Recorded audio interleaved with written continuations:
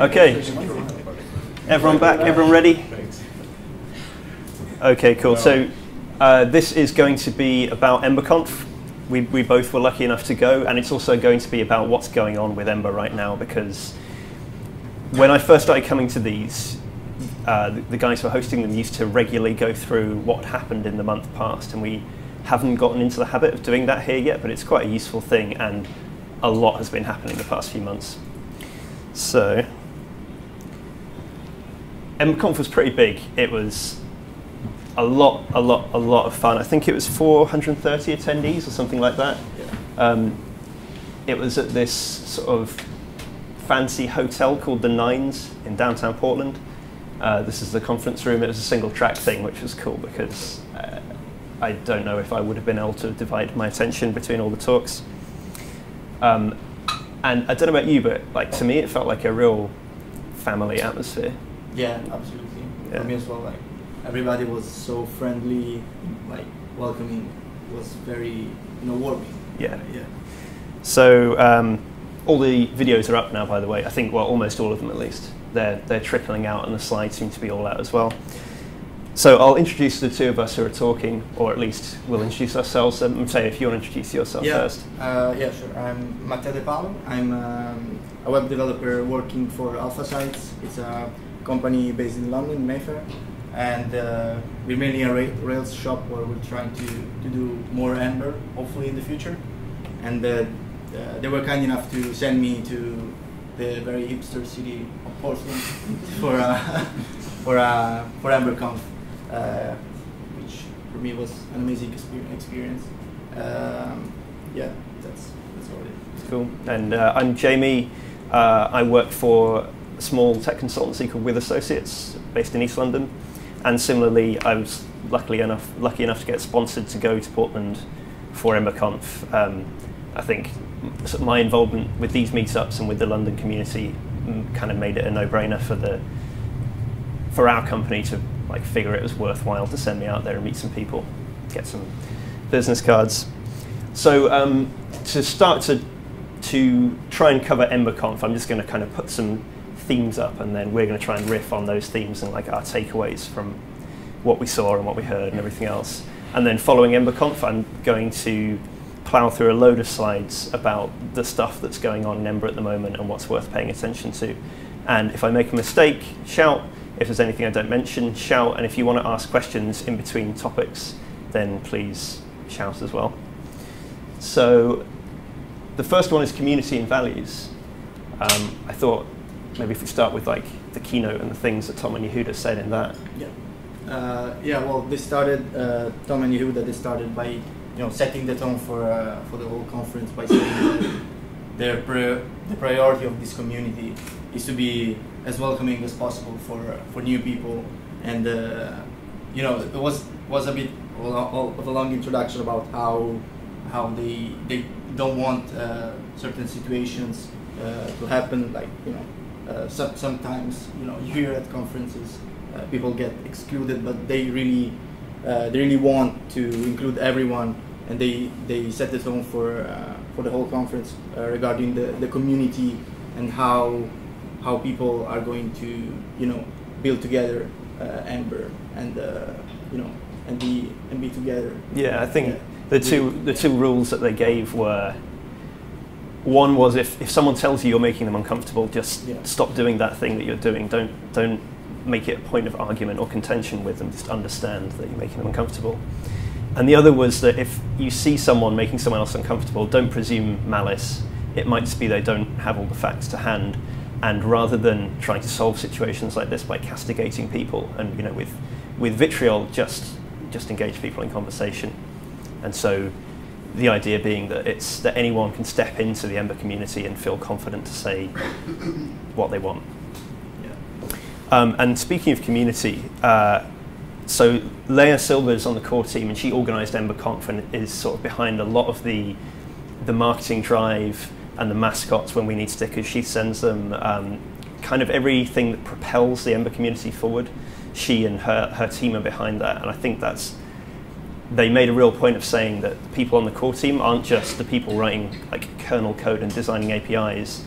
They are people doing documentation and release management and commu- community management, and like none of those things stand up individually. You've got to have the whole package to have a community working, and like I thought that the way they organised it was absolutely amazing. Yeah, yeah, they, they absolutely did uh, an excellent job. I mean, it was it was perfect. The, the food, the, the organization, the, the gadgets, and everything. Yeah. got me. Um, yeah, everything was uh, was well, top top top uh, top quality. I would say. Yeah, actually, the Yeah. food the food was some of the healthiest and and tastiest conference food I've ever seen. Yeah. And there was like a massive gluten-free bar as well, and all this kind of Yeah. stuff. Uh, so the next point is developer happiness. So the guys addressed it as productivity in the keynote, and I would sort of describe it as the things Paul was saying about um, abstractions that provide a lot for you, and what initially seems like magic is really just kind of like getting all the the boilerplate decisions out of the way so that you can just start like running forward with your idea. And that's the reason things like the router took you know six months to really come well more than that 18 months to really come together. Things like query params are taking six months to come together. Why ember data is still not 1.0 so um, i think that they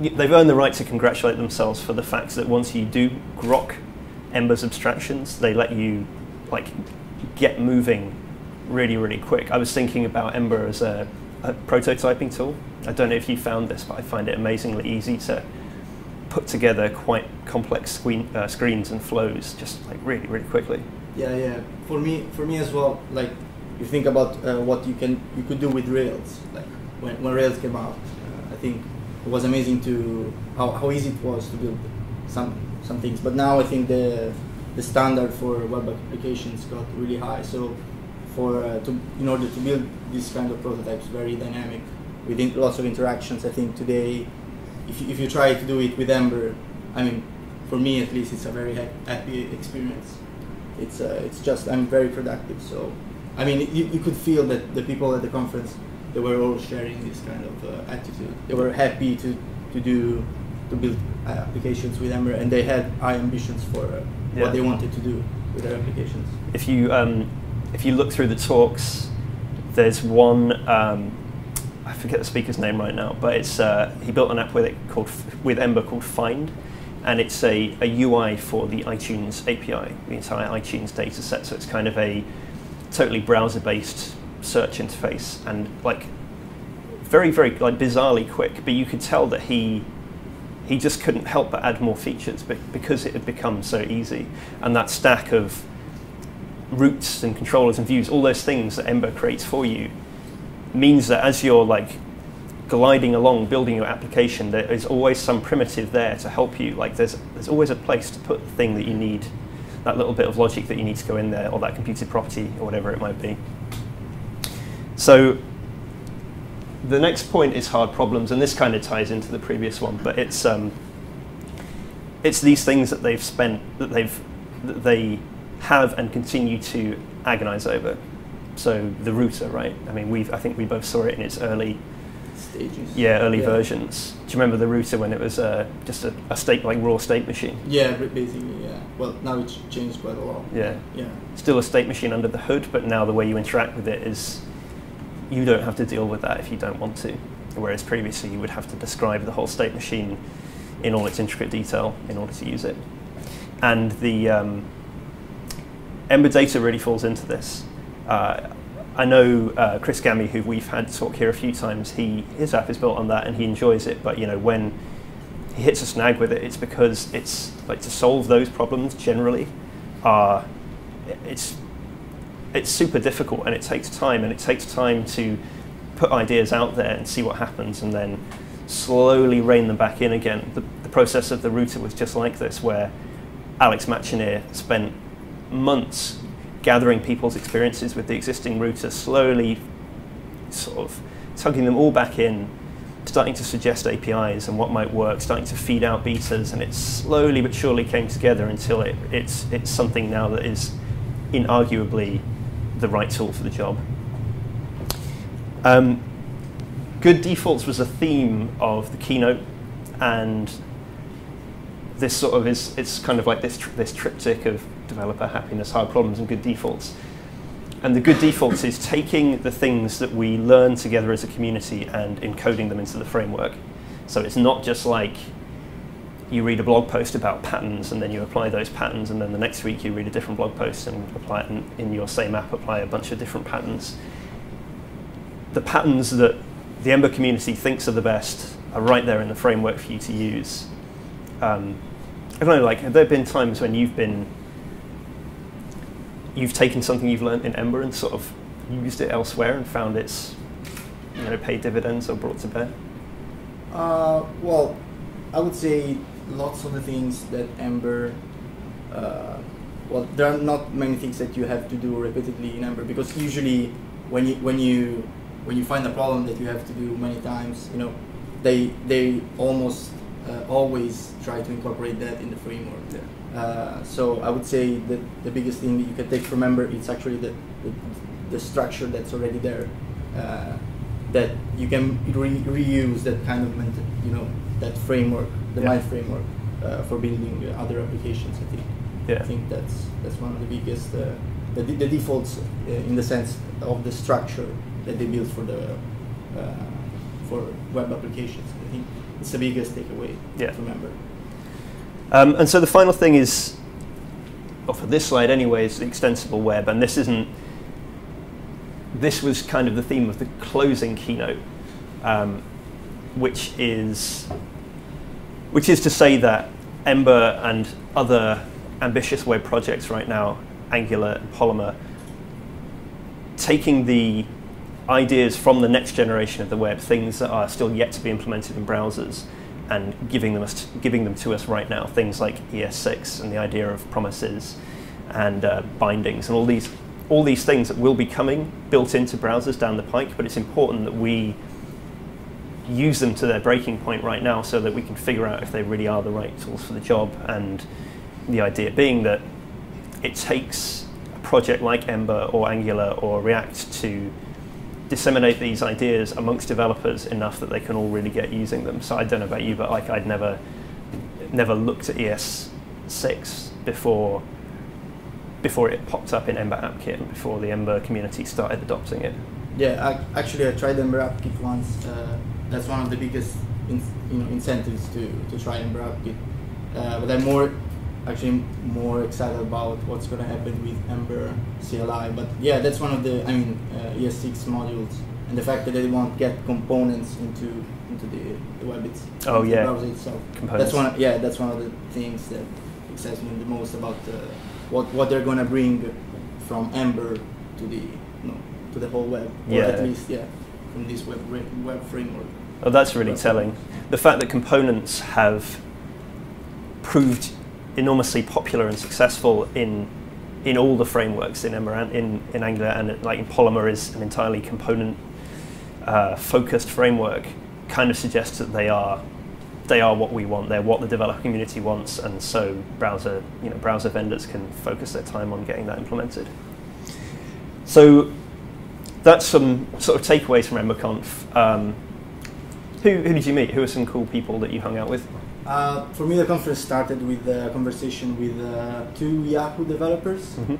was pretty interesting to know that basically now they're trying to migrate from YUI. They told me some cool hor- horror stories about YUI and uh, how they're they're trying uh, now to train 1,200 Ember developers.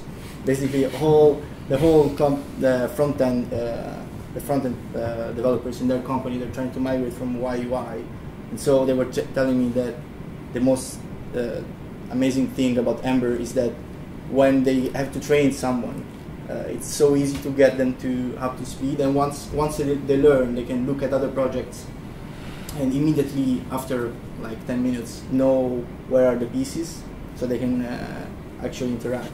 And also one of the things that they said uh, was uh, one of the biggest uh, reasons they chose Ember is that they're people that, for example, try to uh, you know expose that data with D3, for example, they Mhm. could leverage components with, with other by other people. That, that was actually one of the, Yeah, the talks talks. as well, and uh, they they were saying the same thing. So uh, that well, was quite interesting to me to well you know after that conversation I, I felt oh Ember is pretty big you know like Yeah. it's getting uh, very big so that's uh, uh, that was interesting and also uh, I met um, I think it was called Chad uh, the guy that drew the drawings Oh The- yeah, Michael Chan. Michael yeah. Chan, yeah, uh, yeah, he was also uh, a very cool guy, and Yeah. he, he did, he did these uh, these drawings of of every talk. He would draw some uh, some notes. Yeah, you'll see one of these yeah. later. Yeah, yeah, okay, yeah, Um, cool. Yeah, no, he he seems very Yeah. cool.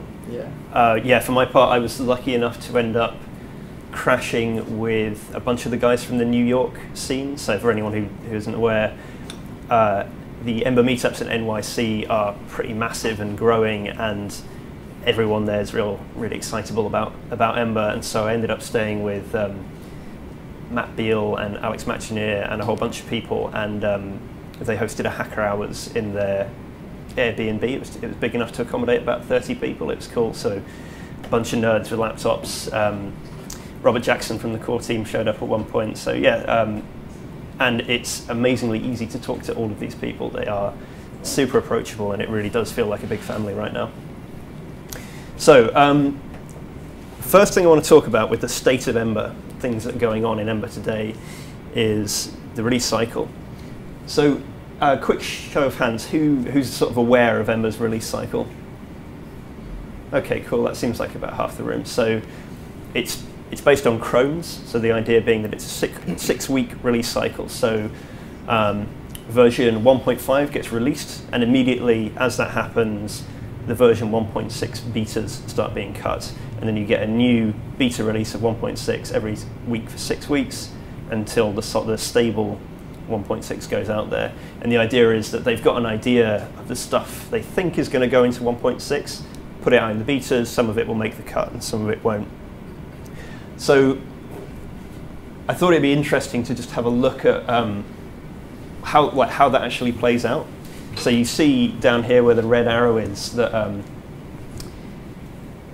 master gets uh, forked off into a new beta branch, or like master gets merged into the beta branch, and then you'll see these commits that start to get cherry picked into beta, and uh, this this is a, a week marker, and Robert Jackson, who's in charge of release management, tags beta one at this point, and then you see a whole bunch more cherry picked commits after that, up until a week later when beta two got cut, and it's somewhat automated, but these uh, the tags in the and you can see this in his talk, but the tags in the square brackets are to indicate to him and everyone else in the release management team what stuff is supposed to be going into this beta release. So doc beta means I've got a bit of documentation which applies to the stuff that's going into the current beta bug fix beta. You kind of you get the picture, and then time progresses. We get to you know get through the weeks. Beta four gets cut.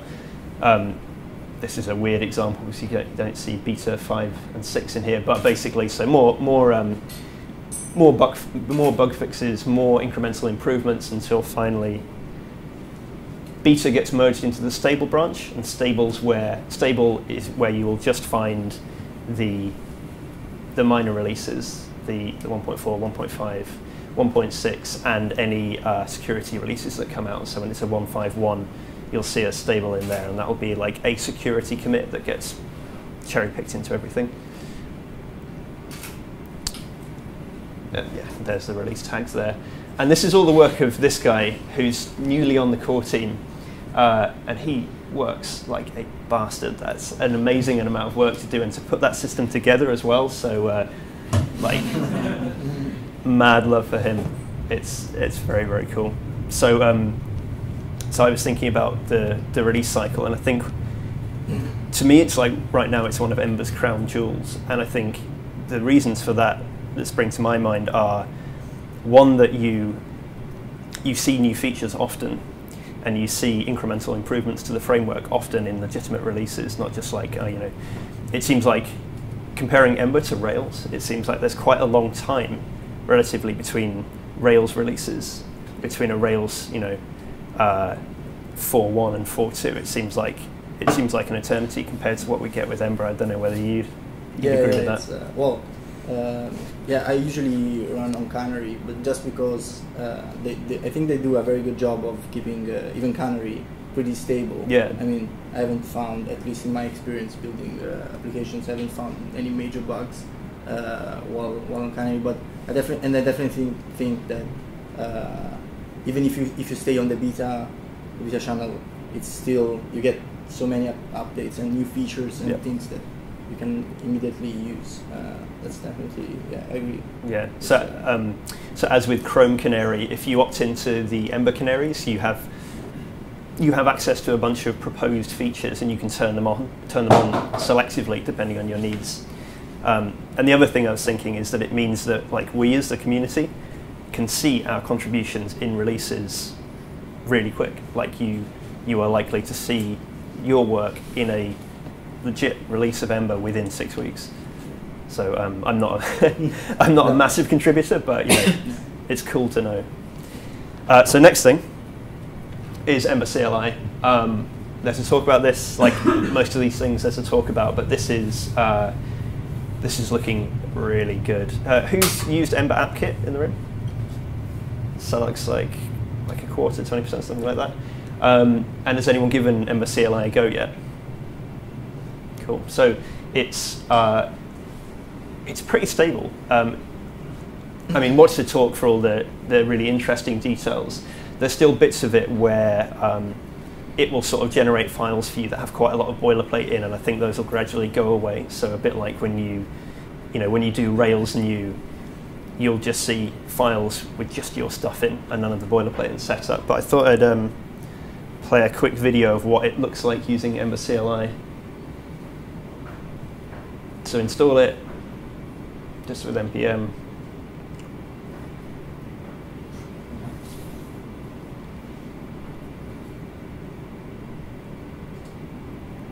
So it's going to create that that sort of scaffold for you, that project skeleton, give you some some sane choices there to get going with, and then boot the server,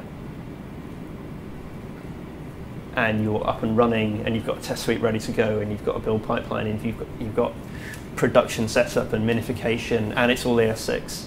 Um, and though on their um,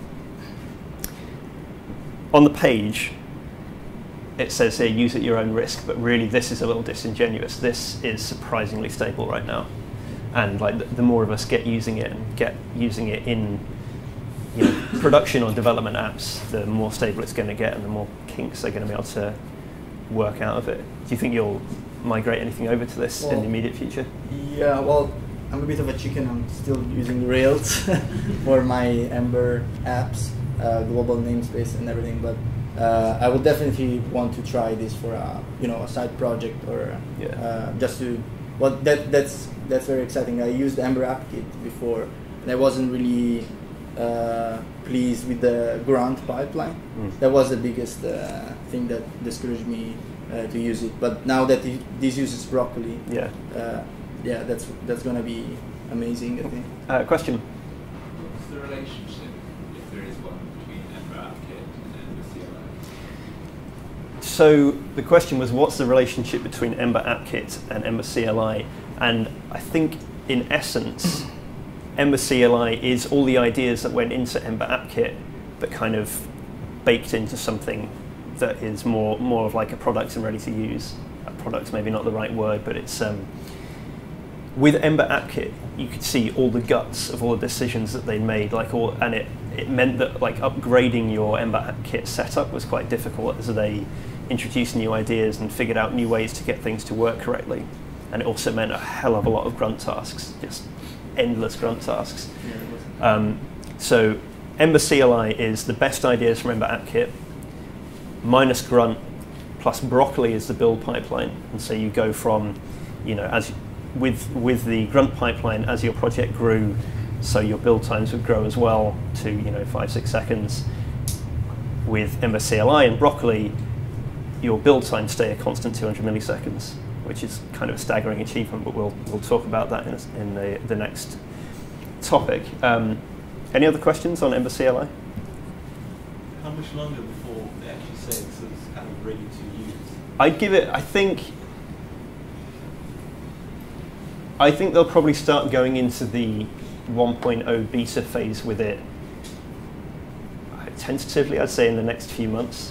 I think, like with everything else in Ember, they'll stay in that beta phase for quite a while because, you know, there's always some edge case lurking in the shadows, and if you've made it impossible for that edge case out the door, then that's a real problem. So I think they need, it still needs to be proven, and when you generate your Ember CLI project, you still do find there are, like I say, there's some bits of boilerplate in there that would be better hidden away so they can be easily upgraded. Actually, there's a nice feature in it where um, you can say Ember uh, subscribe. You, you have a subscribe flag, which will notify you when new releases of Ember in a particular channel you're interested in are available. So, as you're working with your project, if you say subscribe beta, it will ping you a little alert to say, "Hey, you're on beta four. Did you know beta five's just been released?" So niceties like that are totally possible. It just means like kind of figuring out what the the best starting boilerplate is and how to provide escape hatches to it, and then you know encoding that.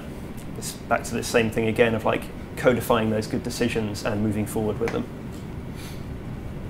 Cool. So um,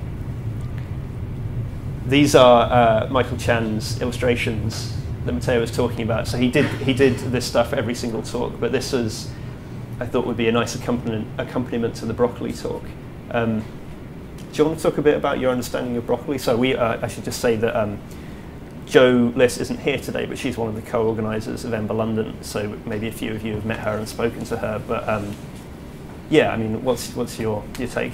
Yeah, so basically, well, the previous state, uh, the previous build pipeline that uh, usually used for JavaScript applications was Grunt, but actually Grunt uh, is a is, is more of a task runner. It's not really doesn't really know anything about the structure of files or anything like that.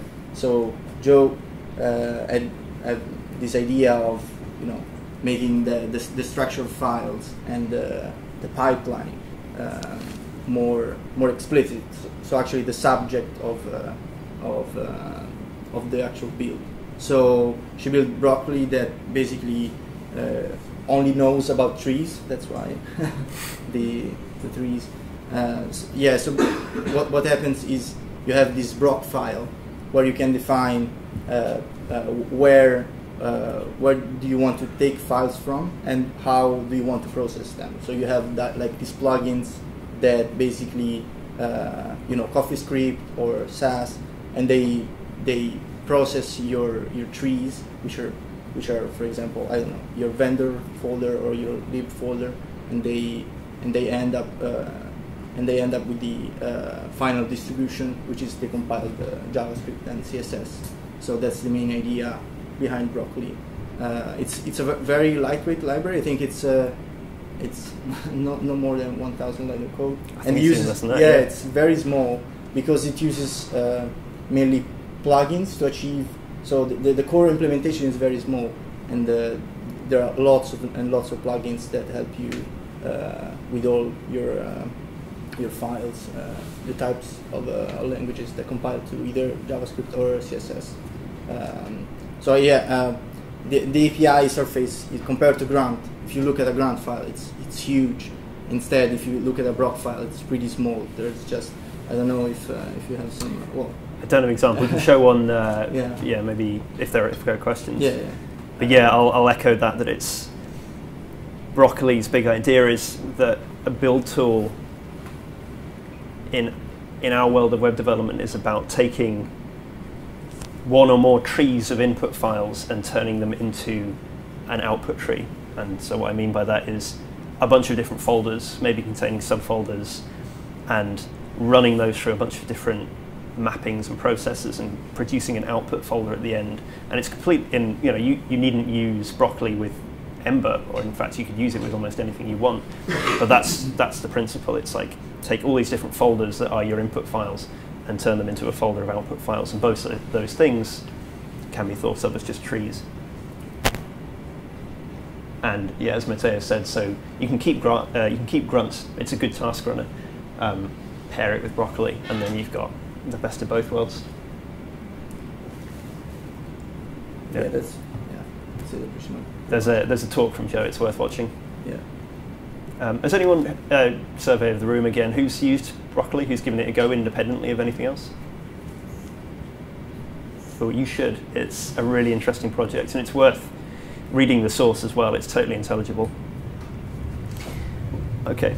Oh, and um, if you want to see all of Michael's illustrations, that's where you can find them. So yeah, there's one for every talk, and they're they're really sweet. So on to testing. So this is kind of big news. Yeah. Uh, for a while, this section of the guides just had that integration tests subsection in it, and it had an, a uh, sort of one page worth of rundown on how to do integration tests with the tools that Ember provides. And Ember provides some really nice tools. I mean, do you use them much? Uh, I, I tried to use QUnit at the beginning. Mhm. I was more uh, comfortable uh, with uh, you know Mocha and, uh, and Chai. Mhm. Uh, so I tried to to use to migrate to that that type of library, but I found some difficulties, and the guides weren't really you know they didn't really tell you uh, how to uh, treat uh, treat asynchronous things. Yeah. So that that was one of the my main problems with uh, with testing uh, with Ember, like how to actually test asynchronous behavior. You know, with Ember you, you deal with lots of promises, so um, that's that was one of my main pain points. But I think uh, they they did a very good job uh, Yeah. in uh, tackling uh, those problems with the, Yeah. both the guides and uh, the, the the new library that they built. Yeah, so what you get now with Ember, um, what's the talk? Uh, it's very good. Uh, we've had talks here in London as well about it. You get a bunch of um, helpers which allow you to interact with your running application and they will deal with asynchronicity for you and then allow you to perform asynchronous assertions. And then there's, because Ember's Ember, a bit like Angular, has a dependency injection mechanism. You you tend to find that when you're doing unit u- uh, unit tests, unit tests, you you will on occasion need some of the dependencies or need to inject mock dependencies, and you do that by means of a container.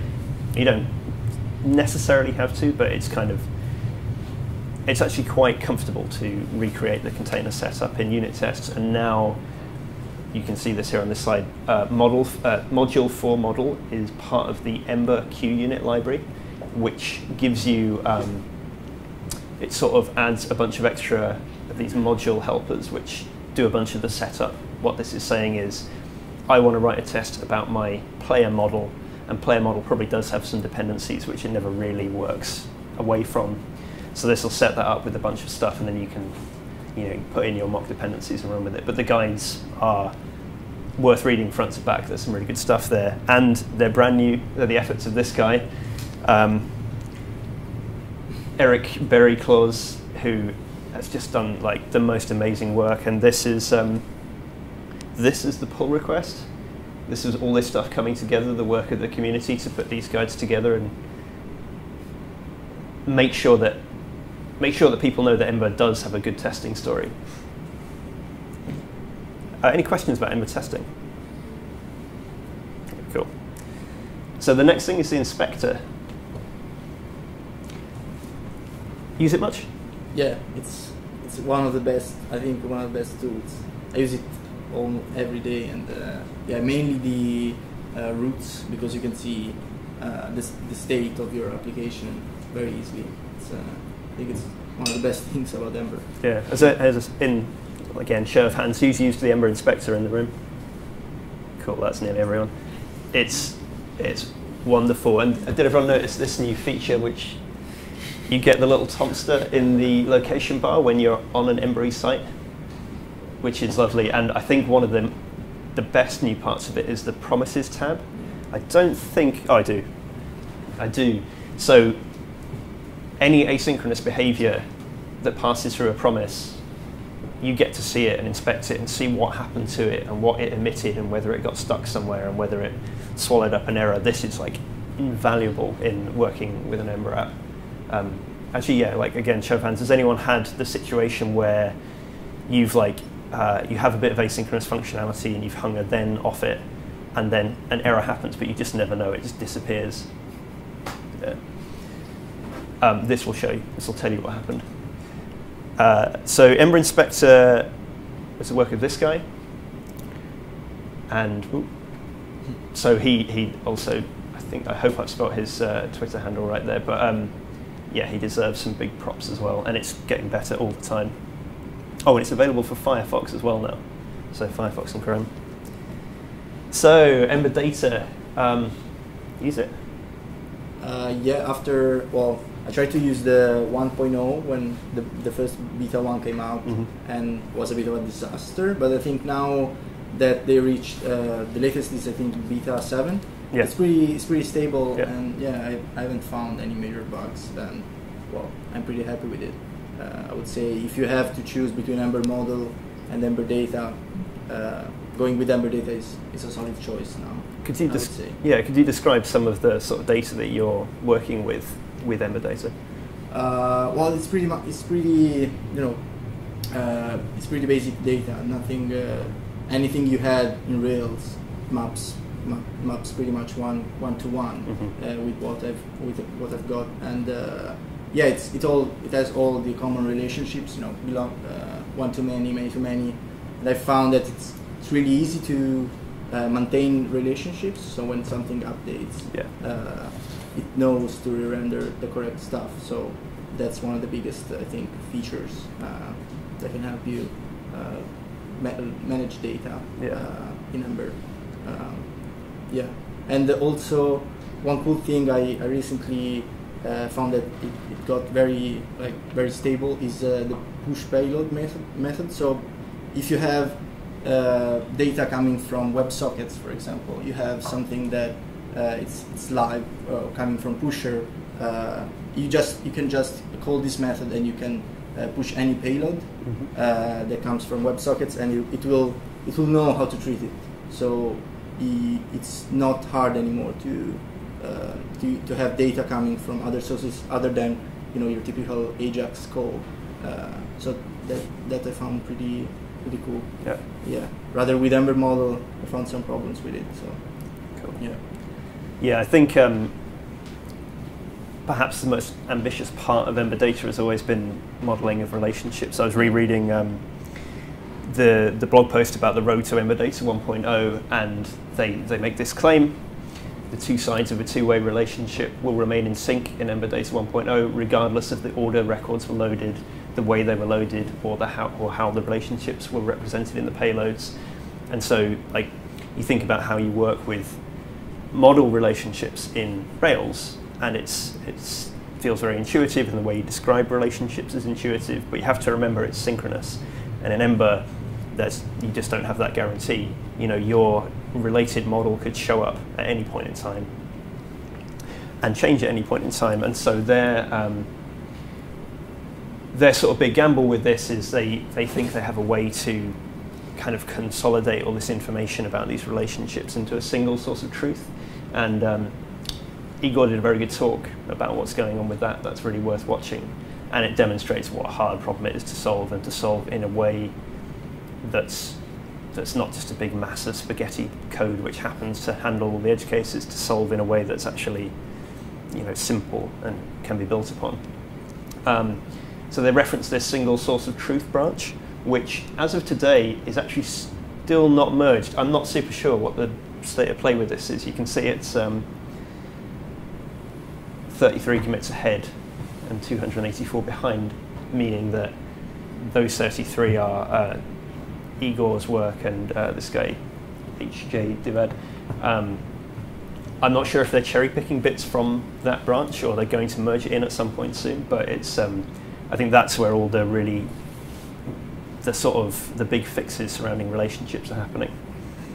Um, as Matteo said, we're on beta 7 at the moment, and I think they need everyone using these betas and sort of putting it through its paces and doing weird transformations on relationships and using asynchronous relationships as much as possible. Uh, so now, kind of onto the the more forward-looking ones, the ones that are, in theory, just around the corner, but they're kind of the more hypey things. So, HTML bars, who's who's heard of it? Okay, yeah. The the great white whale of HTML bars. It does look fantastic, and it's so worth watching. uh, Eric and Chris's talk on it. Um, I've not. I don't even know how you try it out. Do you have any idea? Uh, no, I don't think there is a like uh, an example or, or anything to you know guide you. No. But no, there's nothing. No. Uh, So there's a repo, and you can certainly look at the code and see how it works. I mean, for anyone who doesn't know, it's taking these the familiar handlebars templates you're used to, and rather than turning them into strings, which then get inserted into the DOM, it turns them into DOM fragments, which can be inserted into the DOM, which means we get rid of all those script metamorph tags. They go away, and we also get rid of bind-attr. Don't need that anymore. Can just you know can do class equals uh, curly's foo, you know whatever your property is. Um, yeah, so that's these two guys, and I think just keep your eyes on them. I think as of now, it's mostly with Chris. I think he's trying to bring it on home, and but what Eric alluded to in the talk was that HTML bars really encompasses a pretty significant rewrite of the view layer. So when it lands later in the year, Ember's going to get a lot faster. Yeah, they claimed uh, I think like uh, three per- three Three uh, times Yeah, performance. three times performance Yeah. uh, improvement for rendering. Yeah. there is a, a demo of uh, spinning circles. yeah. I think there is a, there is a, like a JS Bin that shows how how fast uh, Ember is at updating you know lots of stuff on the DOM, and they compares it to other libraries. Mm. And currently Ember lags a little bit, Yeah. uh, and then they show the HTML bar version and it's super fluid. So yeah, Yeah. hopefully Yeah. It it'll be ready soon. Yeah, I think it, this this work allows them to fix a lot of long-standing problems which have been identified over time, and now they they like the path is clear. HTML bars is the way, and the other thing that HTML bars is purported to provide is an answer or sort of like a a primitive for server-side rendering. So it's not going to like it's not going to completely solve server-side rendering for you, but it's going to it's going to sort of give a path in that direction. So if you need to, in theory, you'll be able to sort of boot your Ember app in Node, not in Phantom.js or anything like that, not in a real headless browser. You can boot it in Node, plug in HTML bars, which is emitting to a string rather than to a uh, document, and um, you know serve up static HTML that way, which is kind of interesting. And query params new. So we've had Alex Speller come in to talk a couple of times, and he he kind of first. This isn't him. That's Alex Matchneer. Um, Alex Speller did some of the initial work on query params and trying to figure out what the API should be, and even what level, what bit of your app is responsible for query params and which bit cares about them. And Alex is the guy that this Alex Matchneer is the guy that did all the great work with the router, the router facelift as he called it, and he's taken on really solving query parameters, and they've ended up as they map onto controller state. Yeah. That's the idea, right? Yeah, that's the idea. Basically, it's, uh, the idea behind it uh, is, is that query params are sort of like a serialization of the app state, so that if you if you can put everything uh, you need in the in the in the root, and then you link it to someone, and they visit the page, they can actually see the page in the state that it was. So I think the, the debate was whether this should belong in the router or, or in the on the, the controller and then after thinking about it in a like serialization for upstate, they said okay that that can belong to the Yeah. to the controller and uh, Yeah. So thing, yeah. So things that live in the the bits between the slashes in your URL, routes care about those. Those are going to turn into model data, and then the things in the query params are properties on your controllers. So you know if you've got a, a list of stuff and you can click on the titles and change the sort direction or perform a filter on the data that's already in memory and those kind of things, which you can imagine those just being a, a property on your controller. The idea is you declare with a one-liner that this property is tied to this query parameter and it will just update automatically in both directions. Um, Alex mentioned uh, something he calls model dependent state as well, and that's interesting. It's the idea that you, in Ember, your controllers by and large are singletons, so they stick around all the time and you set state on them, and then when you come back to them, that state is still there. And his notion is sometimes you do want that state to still be there, and sometimes you want that state to be reset if you change the model. Um, and right now, I think what we tend to do is do that manually in the route. You just in setup controller, you would like uh, reset all those bits of state that say stuff like I don't know this this panel is visible or or not um, each time you load in a new model. And his idea is that you have something akin to a cache key, uh, and it sort of interoperates interoperates with serialization into the URL as well.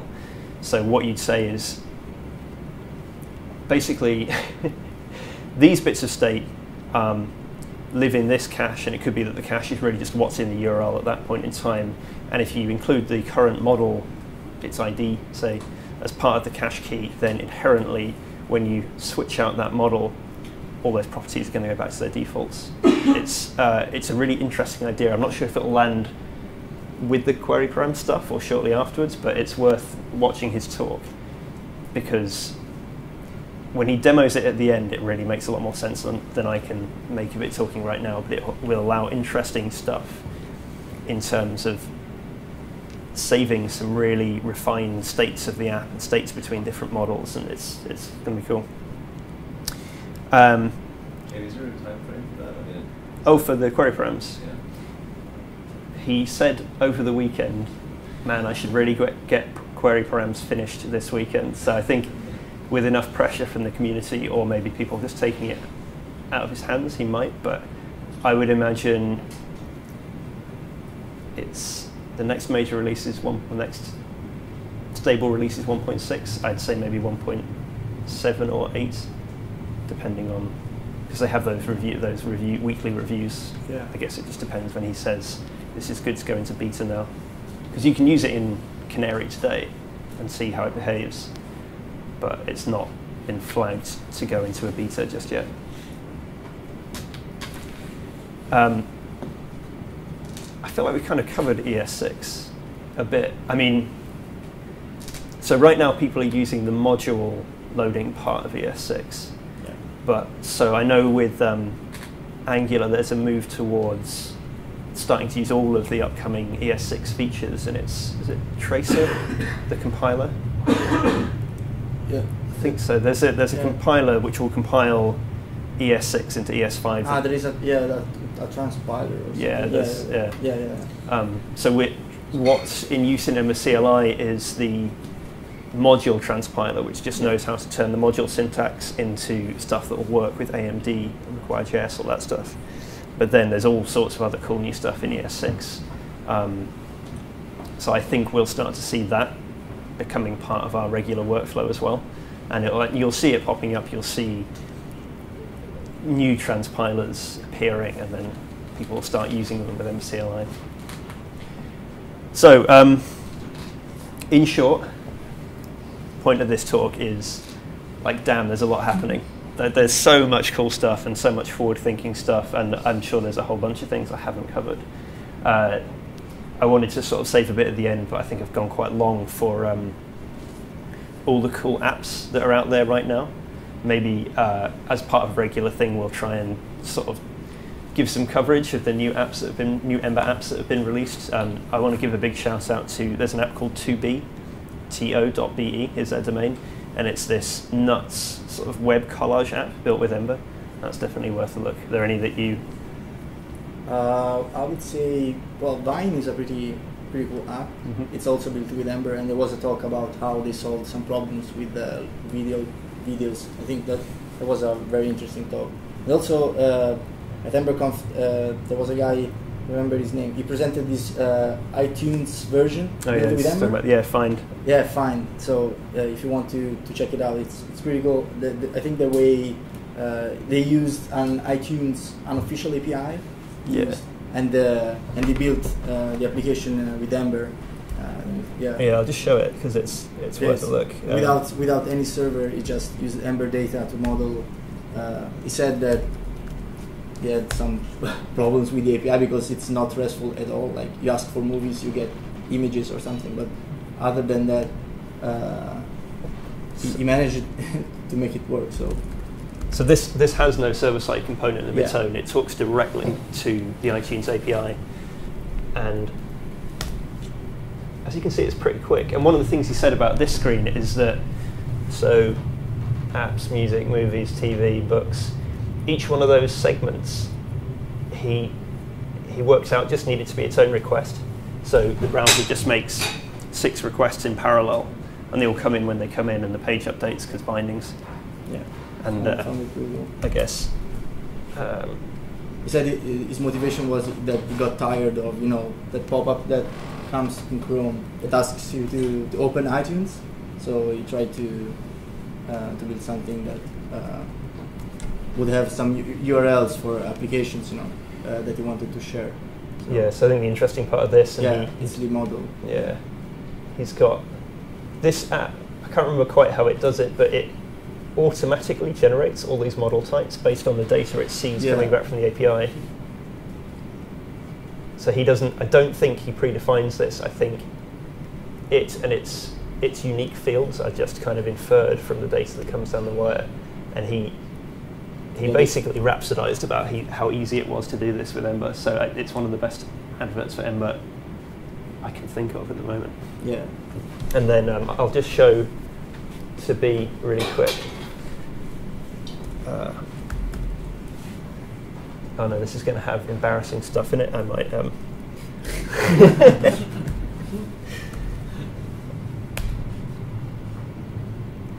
so the idea, I wonder if I can use it without signing in. So people build mad collages with it, and then you can print them out as a T-shirt, or you can just invite other people to come in and collaborate with you. But the um, oh, I can't. I'm gonna. I'm gonna just have to do the embarrassing thing. So the um, the big collage you saw at the beginning of this talk was done with this app to be so let it load all these people in. So it's like, um, let's see, Stencilify. it's it's really kind of cool and impressive and quite bizarre. Like it, it doesn't explain itself too much. It just lets you get on with doing weird stuff. But um, it's again, it's just an Ember app, and you pop it open and you can see it using all the conventions that you're familiar with. It uses routes like you'd expect. Don't know if this, yeah, this is that uses data as well. I don't know if it will, yeah, it's in captured some promises. So this is a really interesting one to look at. And I guess the other big one is um, discourse. Ah, discourse. Yeah. So, uh,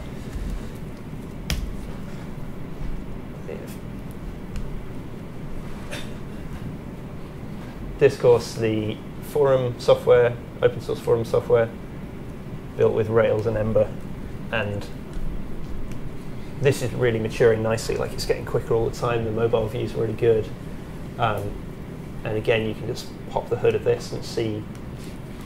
They don't use Ember data; they use their own, but they the guy behind this has built a some sort of performance metric, like Ember performance metrics, which plugs into the inspector. I've not seen that yet, but yeah, there, there was a pull request, I think. yeah, Rob, Robin Ward.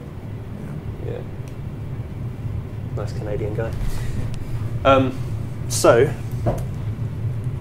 with all that, thank you very much.